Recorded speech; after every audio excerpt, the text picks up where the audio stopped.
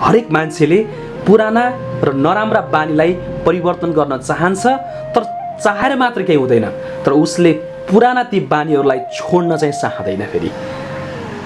यसै विषयमा म एउटा प्रसङ्ग राख्न चाहन्छु।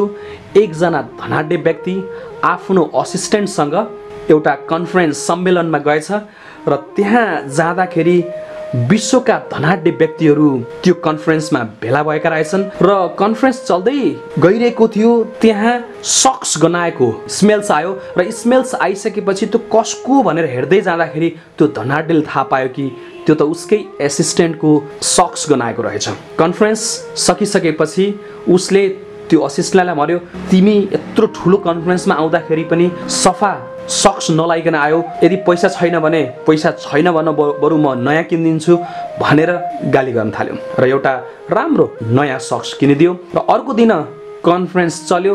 चल्दाखेरि हिजो जस्तै आज पनि सक्स गनाएको छ। बिचमै असिस्टेन्टलाई बाहिर बोलाएर उसले सोध्यो आज पनि तिम्रो सक्स गनाएको छ? किन? तिमीले हिजो मैले किनिदिएको सक्स लगाएनौ? भनेर भन्दाखेरि त्यो असिस्टेन्टले भन्यो हेर्नुहोस् मैले त नयाँ सक्स लगाएर आएको छु।